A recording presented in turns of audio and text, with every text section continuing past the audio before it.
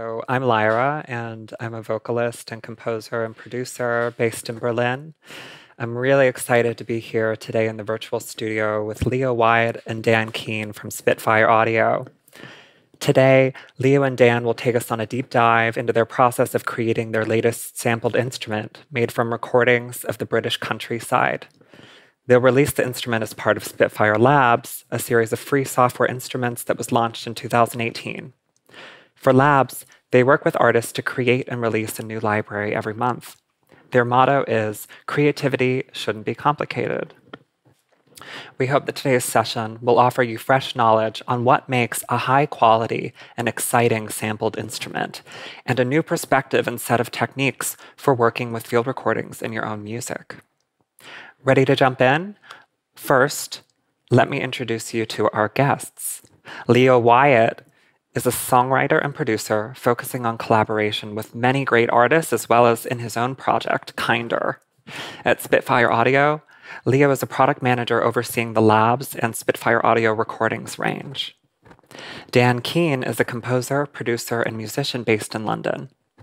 Dan began contributing to Christian Henson's Pianobook community in December 2019, alongside accompanying content in his own YouTube channel, which led him to his role as in house composer at Spitfire Audio.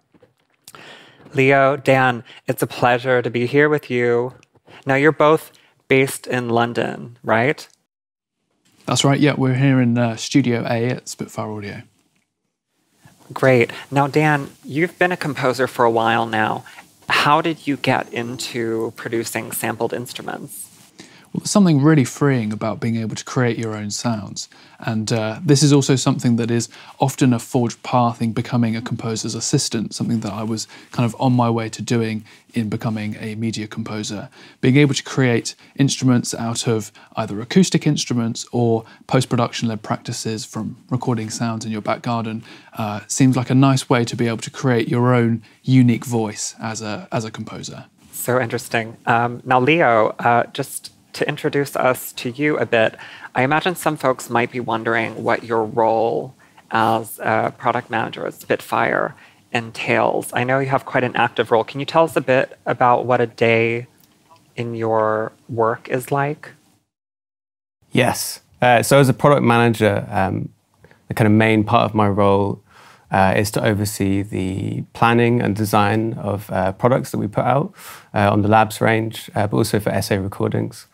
Um, but I love to take an active role in the actual sound design and work and creation of those sounds. So I do a lot of kind of tweaking with sounds, and my day to day is pretty much um, hanging out with the team, making stuff that we're gonna we're gonna explore today. Wonderful. Um, really good to be here with you both. Um, you've both been working on this instrument for a little while now. So I was wondering when people ask you what you're up to or what this is, What's your elevator pitch? Well, for me, this this project was uh, a consequence of lockdown. Really, we didn't have any people we could record, all the studios were closed, and I one day heard quite a big open cloud burst at my home, and I thought, oh, it would be cool to record that rain sound. Um, and then over the next few weeks, we I kind of sampled various sounds of thunder and birdsong and wind, and uh, eventually had some samples which we could use as source material to turn into this instrument. But uh, it's a lot of kind of toing and froing, really, a lot of collaboration. Um, but um, yeah, we created some sounds that we're really really proud of. Great. And then how did you guys come to the decision to release it as part of the lab series? Is this is it is it a similar kind of sound pack to what comes out in labs? Yeah, we uh, we had been originally recommended this by our co-founder Christian Henson, who had heard Dan's uh, collection of sounds before uh, we'd been uh, introduced at Spitfire, and it really stood out for me. I think for me, the things I love to hear in labs and what I love to explore is the idea of making sounds out of something completely left field, stuff that you wouldn't usually think about making sounds out of. I think, um, and field recordings are really a classic example of that. You can make so much out of field recordings. There's so much, uh, there's so many frequencies going on in, in, in, any one of those. So there's all sorts of things you can make.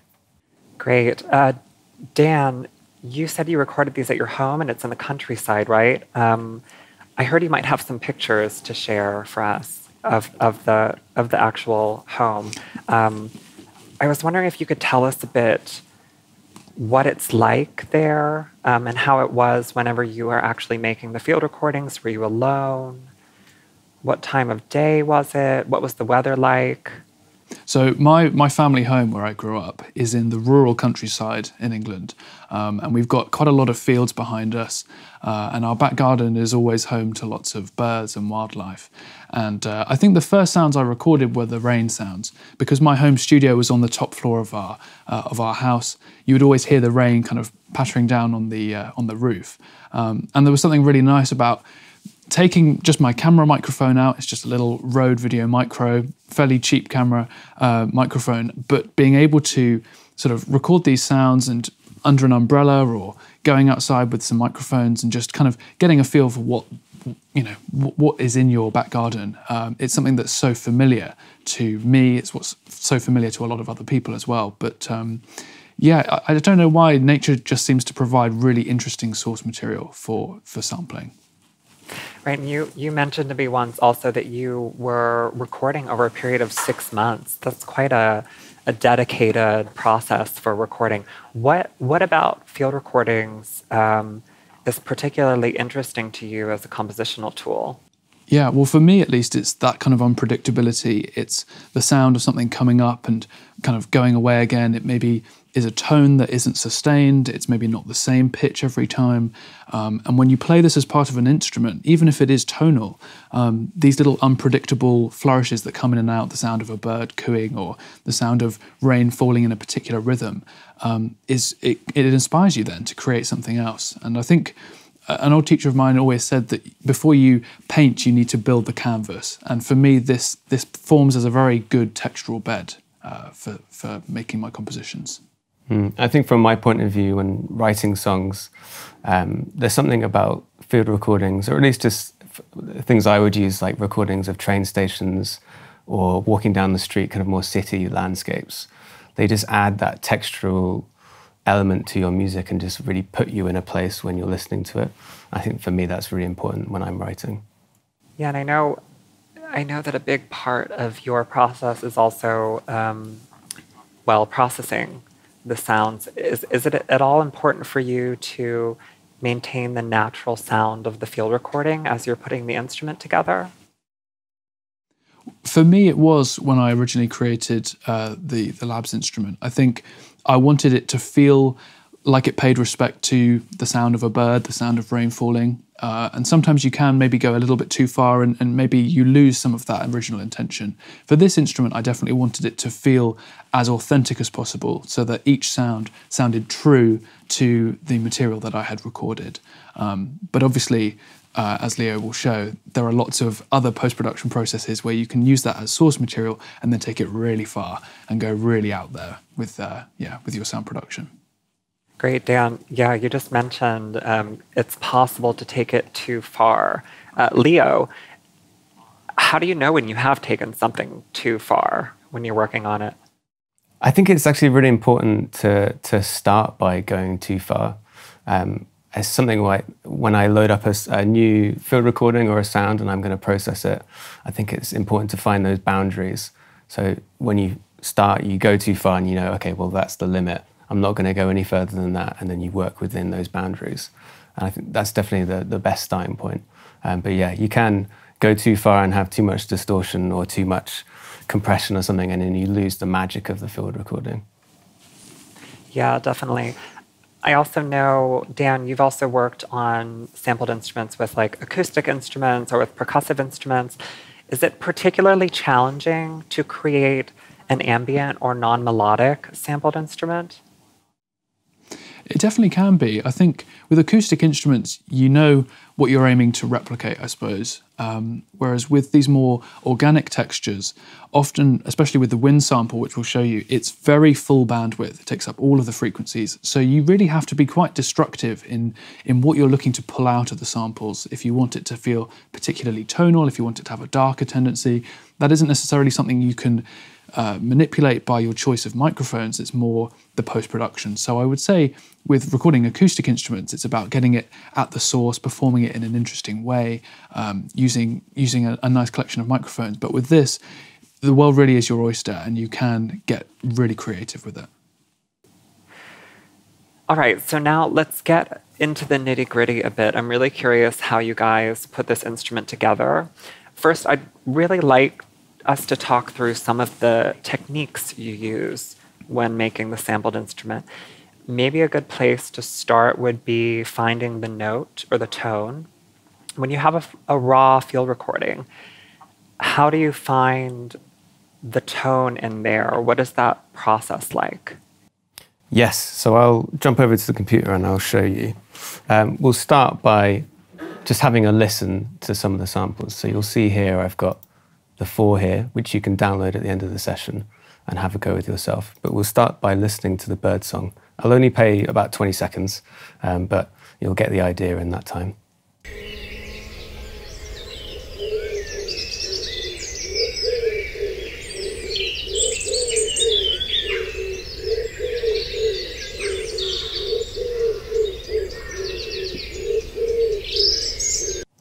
So there you go. You can hear all sorts of nice things in there. You can hear the birds. Uh, you can hear some also some very uh, loud British pigeons.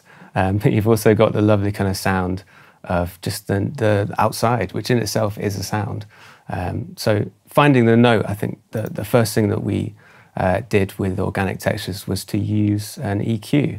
Uh, so I'm just going to drag this EQ, which is in my favorites in my effects section, and add that to the, the bottom there. And you see I've made, self, made myself a preset which has all the different things I might use. And I've got here a notch uh, here, which I'll set to 440, which is the frequency of an A, just below middle C. And then I will turn up the gain and reduce the band so it's really tiny. And what this will do is create a resonant sine tone, which will go, which will kind of bring out this, this middle A sine tone sound within the field recording. So you'll hear it change in the waveform, you see how it gets louder and quieter. Uh, the louder the waveform is, the more of that sine tone we're probably going to hear. So I'll just listen back to this now, having put this in, and see what it sounds like.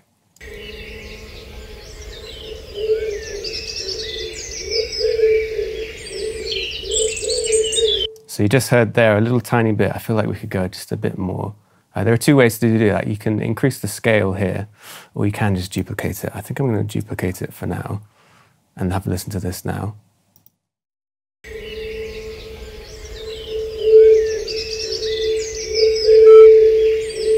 So you can hear there, I almost did it a little bit too much. So I'm going to turn the scale down on this one. And then because the dynamics of this sample are quite, well, dynamic, I'm going to add a uh, glue compressor just a small tiny bit of compression to make sure we don't get any loud things jumping out and just have one last listen. Right, Leo, so the scale parameter, sorry to interrupt, the scale parameter is just bringing, uh, yes. it's, it's reducing uh, from 100 to something like, I don't saw where you, where you dragged it, but it's reducing the effect. It's like bringing it down via a percentage or something like this. Yes, exactly that. It reduces the amount that you're doing. And you can actually see when I drag it, the, uh, the blue line comes down. So if I go back to 100, you see it's all the way up. And then when I come back down to where I was, which is around 60, it's there. Um, what I'm going to do now is I'm going to commit this to audio. And there are many ways you can do this. You can set up an audio track and set the output of this uh, to that audio track and record that down. Or you can do a quicker way, which we do, which is to freeze the track, which freezes all of the plugin information as it is and then I flatten that, and that commits it to audio. And you'll see the waveform will change. And it's, there you go. It's quite loud, but I'm sure it will sound good. And then what I'm going to do is drag it into this simpler. So I've just loaded up a simpler here, which is Ableton's built-in sampling tool. And I'm going to drag the sample in. And we can play this. I'm just going to move the start point along because I know that it's a little bit quiet at the start. But we'll be able to play this. Dan, do you want to have a play on the sure. keyboard?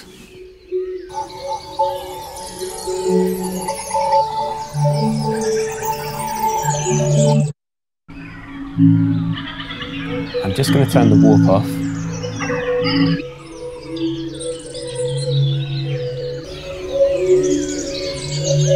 So you can hear there, we're still preserving all of the nice kind of bird sounds, and even the pigeon is still there. But it's definitely got a resonant tone, which Yes. is what you'd gravitate towards, I think, when Yeah. when playing with samples like this. Right. Dan, did you have something like this sound in mind when you were making this original recording? Were you thinking to like add tone to it like this? Yeah, definitely. I think um, if I were to take that low cut and pull it right in up to 440, we'd lose that sense of the ambience. We'd lose that sense of the wind. Uh, similarly, if we had a high cut and we pulled that also right down to 440, we, we would get, well, basically just a sine wave at 440, which wouldn't have that ambience. And I think, like Leo said, when you're outside as well, there is that kind of high frequency content that you really want to uh, maintain. It's also worth bearing in mind that as you play below the sample, you're tuning it down, so you're stretching it out. Whereas if we played that sample sped up like this, you can hear that all of those bird coos are being are being sped up quite a lot. So that's worth kind of keeping in mind as well. I think. Can I ask a? Can I have a? I have a guilty guilty question. I just uh, or maybe a, a. I just want to hear a big C major chord on that, like a big stacked C major chord. Can you give us one of those? Should we, should we team up? Yeah, sure. Okay. Ready?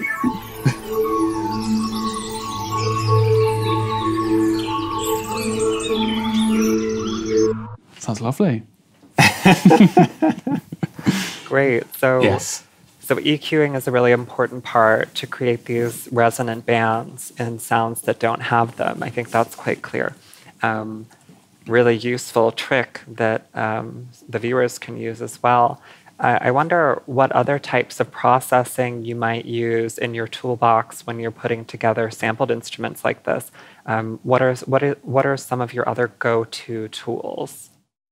Another thing that I love to use, I'm a big fan of, is uh, Max for Live devices. And there's one in particular that I use on maybe every product I've worked on uh, at Spitfire, which is the Granulator 2. Um, I'm a big fan of granular synthesis, uh, and it works so well with field recordings. There's so much you can do with it. Maybe the rain would be quite a good one to do. Yes, okay, let's try that. So I'll jump over to the computer again. Could you maybe Yes. just explain quickly for folks who maybe have never used granular synthesis what what that is as a as a tool? Yes, of course. Yeah, I'll give a quick soundbite. Uh, so, granular synthesis is where you take an audio sample and you split it up into tiny, tiny little bits of information of audio, and then you can shuffle them around and stretch them and pull them and basically create something brand new. The idea is that you can really remodel or redesign a sound uh, with granular synthesis, and that's why I love it so much. Great, awesome. Let's hear it. I'm really curious. Yes. So I'll do the same thing I did before with the rain sample. Um, we'll just have a listen to it first. Um, we want to get that resonant tone out again so that we have some tonal information that we can use when we drag it into the granular granulator. Uh, so we'll just listen to the rain for a bit. We all know what rain sounds like.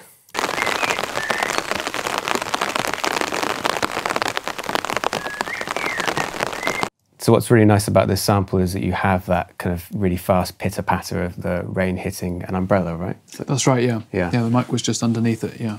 we always have umbrellas in in England, um, and so yeah, I think that's going to really add some kind of percussive element to the sound. So when the uh, every time the rain hits the umbrella, you're going to hear a sine tone, and it's going to sound really nice.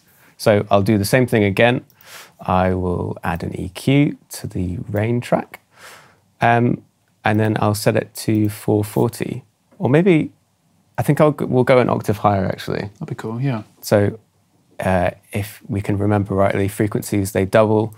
So 440 times two, this should be an octave above the A below middle C. And then I'll do the same again, turn the gain up and reduce the band. And then knowing that I had to do this in the last one, I'll duplicate and turn the scale down again and have a little listen, see what we've got.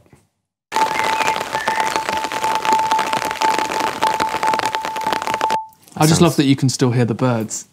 It's, it sounds same really garden. nice.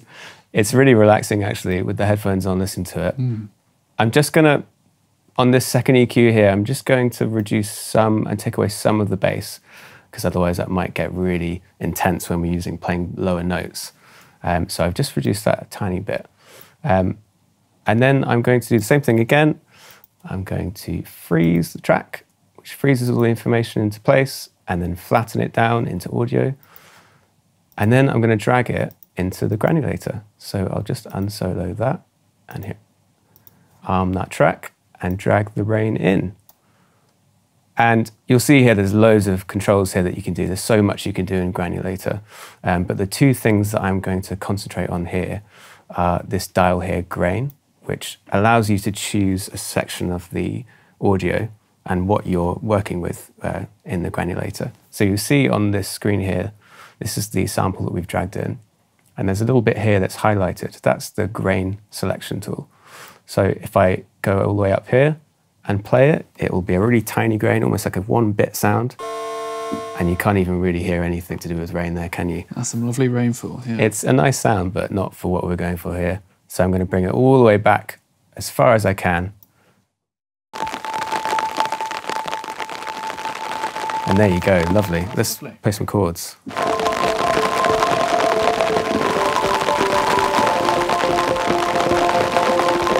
Really nice.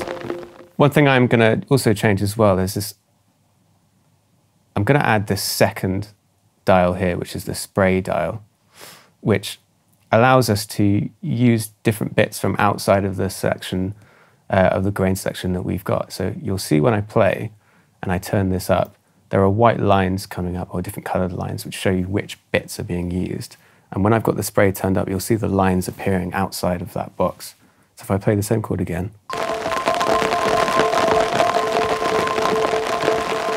and then I'll turn the spray up and you'll see the lines appearing outside of the box. There you go. Really lovely. That's nice. It's adding yeah. this nice bit of randomness where you're scanning different sections of the sample and it gives it this even more organic kind of feel. Exactly, yes. It's, uh, it's random every time, yeah.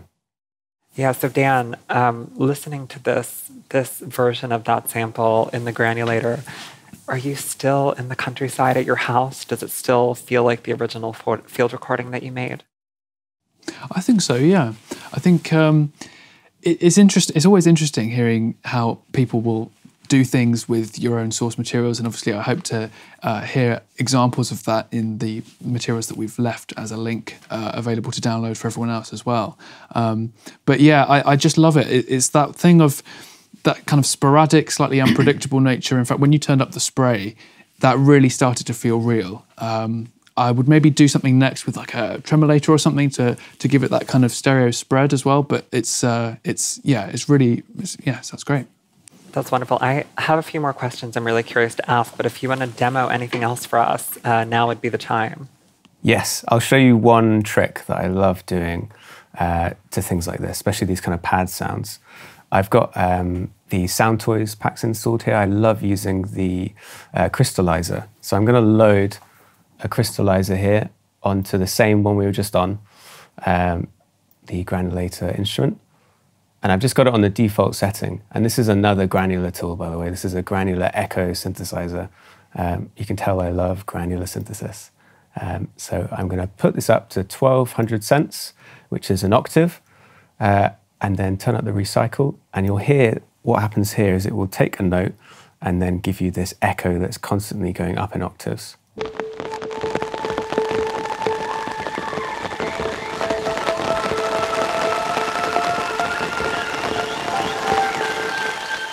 If any of you have used Crystallizer before, you'll you'll be able to recognize the sound in every song that uses it. It's a very distinctive sound, but there is a way you can do something different to it, which I haven't heard as much, but I think is brilliant for kind of spooky sci-fi scores and cues that you might be doing. So I've just duplicated the crystallizer here. It's the same setting, and I'm putting it to, I'd say, about 10, 20. I'm going to go for 30 because I'm feeling wild. Uh, and this is going to add a kind of a chorus, wild chorus effect because it's going to duplicate up 30 cents every time.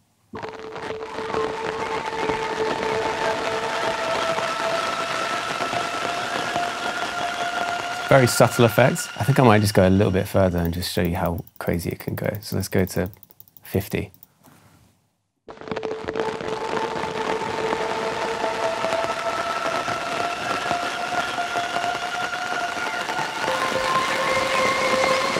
Can hear there, we've taken something that's actually quite calming and, and nice to suddenly be really eerie and freaky and scary. So That's great. there's really so much you can do uh, with field recordings.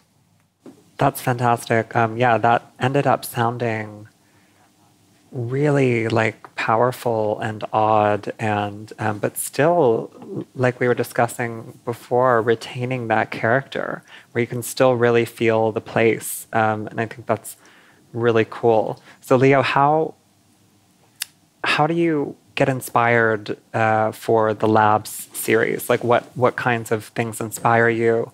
for each release. Um, what, what kinds of things are you thinking about in, in putting together this series of sampled instruments? I think anything that sounds out of the ordinary that uh, just really excites me. I think there's obviously fun and, and, beauty in recording instruments as they are, but there is also so much fun in exploring uh, things that haven't been done before. And sound design is one of those things where I could just do this forever. It's kind of a real rabbit hole uh, experience. And, and, and nearly every labs we do or every product we work on, there is a, a point where we start doing sound design and we have to stop ourselves. Um, and things like this with the field recordings is definitely one of those ones where we could have really worked on it for weeks and weeks and had more than probably what our labs would usually have, uh, more sounds than we need. Awesome. You mentioned also um, if people might be working on cues, you know, in like a use case. I mean, you must also be thinking about the end user a lot, uh, musicians, composers, who would actually end up using these uh, packs in their work. Are you being totally intuitive when you're designing these packs, or is there also some research going in uh, based on, you know, use cases or something like this? I think as long as the the sound that, or the idea that we have is is exciting us, I think it will definitely excite composers out there. There are obviously things that um, people want us to do, and we we kind of eventually get to those things, but we want to do them in our way, and we want it to feel natural. Um, and there, and you know, as long as as long as I'm excited by what we're making, I think I'm feeling comfortable in what we're we're doing with labs. Wonderful. Yeah. I mean, just just scrolling the page. I mean, there's so many interesting th- things there for me as a musician. So many interesting different sounds. Um, this question goes to both of you. Maybe Dan, you could answer first. Um, what do you think are some of the most important uh, aspects or elements of a good sampled instrument? Well, I think it's it has to be intention first, um, and I think you know there are, there will be some people who want to prioritize lots of dynamic layers or loads of round robins, but ultimately none of that matters if the instrument doesn't sound that exciting, doesn't sound that fun. So I think a key thing at, at, Spitfire as well is that everyone is a key musician, and and you can really hear that in the samples that are being made. And there's a key, a key drive towards uh, things that that we find naturally naturally musical. But I would say as far as sampling is concerned, there is something interesting about capturing the slight imperfections. Um, an interesting way for something to be played, or little noises in the chair sometimes just make things feel a little bit more realistic rather than, as we could have demonstrated, filtering out to just the note. You lose everything else, you lose the character that comes with it. Mm. And for me, I think it's really important for sounds to be malleable and evolve. Um, we do a lot of things in labs and also just in sampling in general. There's lots of work done using the mod wheel on a keyboard, which allows you to crossfade between different layers. And for me, that for a lot of people, that might seem like a really simple thing of being able to fade between different dynamic layers of kind of recording soft and loud. But for me, it's the ability to really transform a sound and make it uh, evolve as you play it. And if you can do that by velocity on your keyboard by hitting harder or by using the mod wheel. I think that for me is what I look for when I'm when I'm making sample instruments. Really interesting. I, I love to hear both of your perspectives on this. Um, just one, one, one final thing before we go to an attendee Q&A. Um, we both uh, had already spoken a bit about, um, well, this is something that's really important for me is like the kind of organizational side of um, making electronic music, the boring stuff, so um, or or the kind of technique behind it. Can you maybe just briefly explain how you how you wrap this up and turn it into a finished instrument? Yes, I'll show you a technique that I use on the computer again. So I'll just go over again, and we'll work with the granulator that I have loaded up here. And one thing I love to do with the granulator specifically, uh, so this is what I'm about to do is, is bounce this down to audio and take it out of the door. So I'm going to take this pre-made uh, MIDI clip here, which I've written, which has, when I open it up, you'll see that there are different notes here. I'm just sampling here in perfect fourths. Um, and I'm giving myself a good gap between the end of the first note and the beginning of the next one so that I can capture the tail of the note so I don't have any kind of bleed between the notes. Uh, I'll drag that in to the granulator. So this will now play these notes.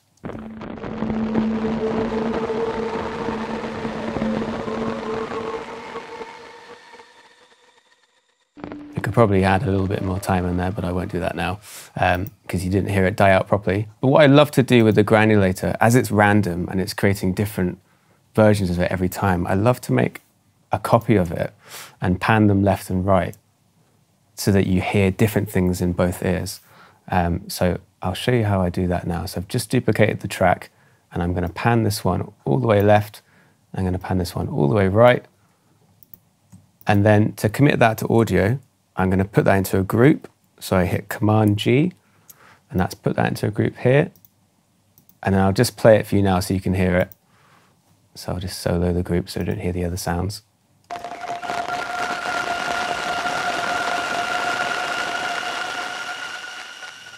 So you should hear there's a very subtle difference between the two sounds on, on both sides. And then what I would do then is name this something helpful. So if it Command R to name this, I'm going to call this Rain Pad. And I'm going to add an audio track, which I did by hitting Command T. And then I'm going to set the input here, which is on this bit here on the right the controls. And I'm going to set it to Rain Pad. So what's that, what that's going to do is record this group with the two tracks inside it. And then I would hit record and go. Normally I would hit R, I'm going to hit the record button.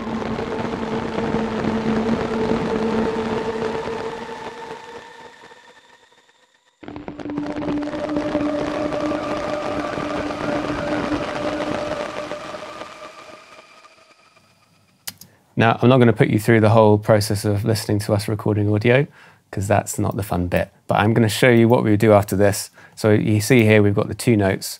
We would then take this audio and we'd cut it into all the individual notes by splicing. I did that with Command E. And then we would uh, bounce these out uh, and then rename them outside of uh, Ableton. And then, and then we'd make a sample instrument in the Labs engine. Very detailed work, but very worthwhile. Thank you so much for sharing. Uh, great. So we want to go to some attendee questions now just take a breath, collect ourselves, pondering all of the interesting stuff we were just talking about. Um, I have a question here from Chris Hawk, who asks, What kind of tools do you use to get rid of wind or background noise? We very extensively use uh, iZotope RX, which I think is kind of the industry standard for uh, denoising and taking things out. Um, yeah, use that a lot. Right. Yeah. I'm also I'm also a big fan of RX. I use it quite a lot. I record my voice a lot, and um, there's always a lot of clicks and noise in there. Also, it's a great tool to have for like um, for like bedroom producers, or if you're not in an ideal acoustic environment, and definitely for field recordings. Um, another question coming in: Which mic or which kind of mics do you use for field recording? Well, I would always suggest a stereo pair most of the time when you can. Um, three of these recordings were actually made in mono, so we had to do quite a bit of work to give it that stereo image. Um, but I think really whatever microphone you've got with you is is going to be the best one. So if you've got a handheld recorder or a stereo microphone that you could maybe plug into your phone or something like that, um, you know, you don't have to have the best equipment just to get started with this stuff. But I definitely recommend stereo. Would you? Yeah, I would also just add to that and say that you can use anything really. I mean, I use my phone more than mm. any other microphone when I'm recording because it's about being in the moment. Absolutely. You might be walking through the street or something and hear something or hear a weird noise, and then the only thing you often have is your phone, and I will hit record on voice memos on my iPhone and, and record that and then take it home. And I think there's something beautiful about the lo-fi sound. Absolutely. Although they're not very lo-fi anymore, phones, are they? No, that's true. Right. So so you can use your phone and like really catch something on the go to like really get that, you know, these gems that are flying around our head all the time, you know, and capture some of those. You can also uh, you know, get a nice stereo mic, like Dan suggested, and go on a little excursion, go on a planned excursion, and maybe go in, go in actively listening. Um, Christy asks, what field recordings or places maybe to record are on your bucket list? Um, maybe, maybe Leo and Dan, you could each give us uh, some some maybe fantasy or or desired spots to record? I would love to go to a really long decaying cave at some point. Have you ever sampled a cave? I was just about to say the same thing. Yeah. I think big reverby spaces for me are the things that, like weird rooms, weird, weird places that aren't kind of box rooms. So like the mm. inside, like the crater of a volcano, for example, That would be amazing. would be amazing. Just Yeah. thinking about the reverb. Is there anywhere you would like uh, you would you would travel to um, that was maybe even even a noisier environment that could be interesting? I remember reading about like field recorders also like in deserts and how they would like keep the sand out of their mics and stuff. can, can you imagine?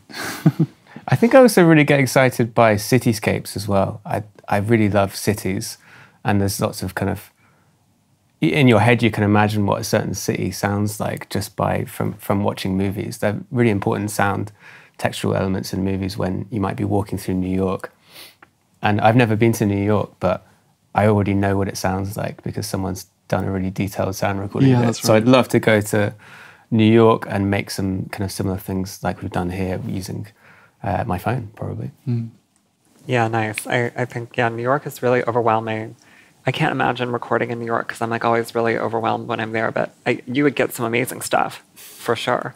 Um, I have a question from Riaz, and Riaz asks After listening to a field recording, what makes you decide whether to make a sample into a tonal instrument or a textural one? Uh, meaning tonal instrument as a lead and textural as more of a pad. Mm, that's interesting. I think for the field recordings that I've taken and turned into instruments, they've always ended up being fairly pad like for me. But then I guess you tend to do quite a lot of distortion and stuff, don't you? Does that mm. take well to being a lead instrument over a pad? Yeah, I think for me it's an instinctual thing. You can you can really hear in certain recordings. If we were to just think about the ones we have today with the bird song one, there's lots of interesting melodic tonal things happening. But then the rain, for example, could also really work as a drum kit. You could really work with that. Um, I also like to think of it really literally and look at the waveform and see how much dynamic is going on, and see if it looks like anything I know. Like uh, there might be, you might be that you, you're hitting something in your field recording, and it looks like a kick drum, and then my initial reaction will say, "Well, I'll make a kick drum." Um, but it may look like a pad, and then and that seems to be the right direction. But it's important that it's trial and error. Definitely. I think it, it takes a couple of um, goes to make something that really works for a sound. So I think try everything is my motto. Yeah, and I also find that things that have a quite a quiet dynamic take well to multiple layers of that thing. If you've got something that's really gritty and grindy, it might sound great as one sample, but as a chord of six or eight notes, it could get a bit overwhelming maybe. Yeah. But um, if you've got something really soft and gentle, it often pairs really well together somehow. You're right. You mentioned also, and I was thinking about this when when we were playing back the sound. But if you made that rain sample into a percussive instrument, would you really zoom in and like try to isolate just like a single transient in there to make like one drum sound, or like how would you go about that? It's a lot of rain. It is, It is. lot A, of there's a lot. There's a lot of rain here in this country. But yes, I would. I would. Uh, yeah, I think. I think I would try both things. I think I would really zoom in on a single transient and try and make one kick drum out of it if I can find one across a sample. But then I think I would also try uh, using Ableton's warp function to really stretch and pull things and really mess with it and try and make something glitchy, like a glitchy drum kit. I think. But also, even if you don't want to use it solely as the sound source of a snare drum or something, I imagine using that rain as like part of a reverb tail or a snare or something like that could could add a nice textural thing. It doesn't have to be right at the very front. It can always you can always create these little layers that uh, make up the arrangement.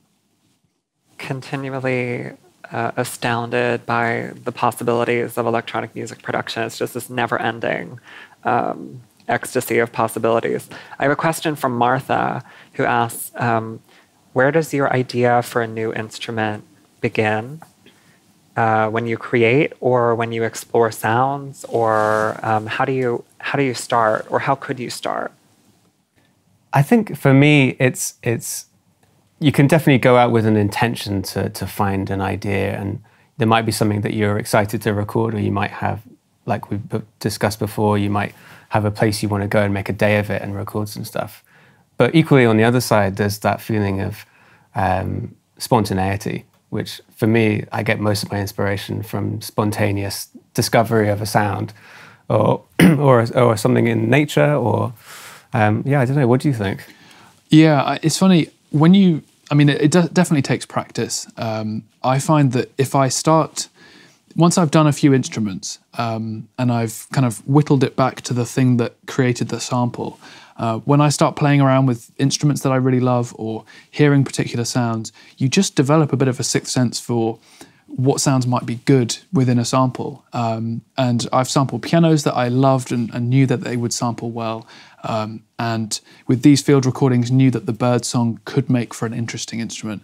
Um, so I think it definitely takes practice just to get to find that sound that you're that is going to become part of your voice. Um, but um, but eventually, you do just kind of you, you just get to know your your preferences. I think.